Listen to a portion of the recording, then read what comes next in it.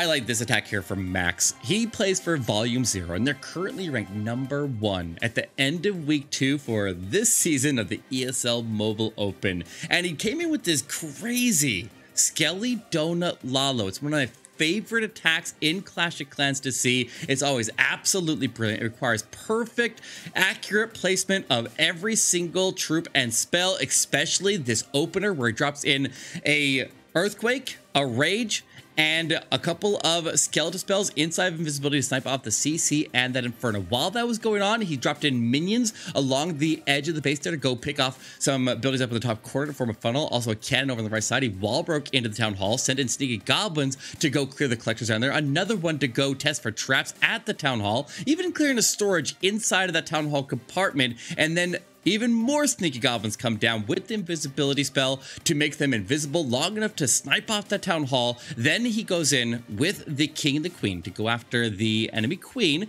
trying to break the ring of defenses here, connect from the outside edge of the base all the way in to where he removed the defenses in the middle to make so the Lalo can path all together and they don't have to go both directions around the Inferno compartment that was in the middle of the base there, and that definitely makes them get more effectiveness out of every single spell. So the King and the Queen charged their way in. The Royal Champion came in on the top side just to make sure that he got all the defenses along the top side and the ones that were in the back of the Town Hall compartment down. So now the Lalo, as it comes in, has a nice clean path to go clockwise or counterclockwise around the base, I guess. He has this slammer come in on the left side and it drops out a couple of balloons and it also drops out a dragon rider to go snipe out the eagle artillery, the queen, and eventually dies there. And uh, he starts in the Lalo to wrap all the way around the bottom of the base there. But he did have to deal with the enemy row champion. He was able to snipe her off with the ward ability, protecting some headhunters. And it was a textbook perfect Lalo. This was so clean.